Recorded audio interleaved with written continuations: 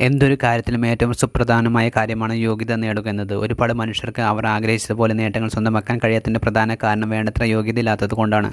വേണ്ടത്ര യോഗ്യതകൾ ഉണ്ടായിട്ട് പോലും പിന്തള്ളപ്പെടുന്നവരും കുറവല്ല. എത്ര വ്യക്തികളാണ് ഒരുപാട് പരാജയങ്ങൾ ഉണ്ടായിട്ട് പോലും അതിനെയെല്ലാം നേരിട്ടുകൊണ്ട് വിജയം നേടിയെടുത്തിട്ടുള്ളത്.